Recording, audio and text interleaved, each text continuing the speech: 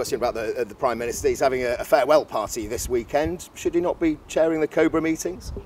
So I, you know, I'm out making the positive case for my candidacy in this election. I'm sure the Prime Minister and the rest of the government is working hard, continuing to serve the British people. In terms of the leadership race, the bookies uh, have got you in second place, despite the fact that you've been leading so far.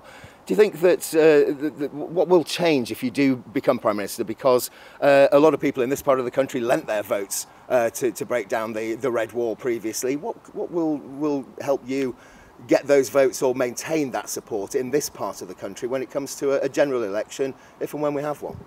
Well, you asked about this part of the country. As Chancellor, I have delivered for this part of the country. There's a Treasury campus, a new economic campus just up the road in Darlington, the new Freeport here, which is attracting jobs and investment to the area, town centres in Middlesbrough, Redcar, Darlington, Thornaby Yarm, all being upgraded and reinvigorated, transport improvements going in at Darlington train station, and more importantly, a new sense of optimism and excitement in this area. I helped to deliver that as Chancellor, working with the fantastic Conservative Mayor, Ben Houchen. That's why people can trust me to keep delivering for Teesside, but also places like this across the country. That's what I want to do as Prime Minister.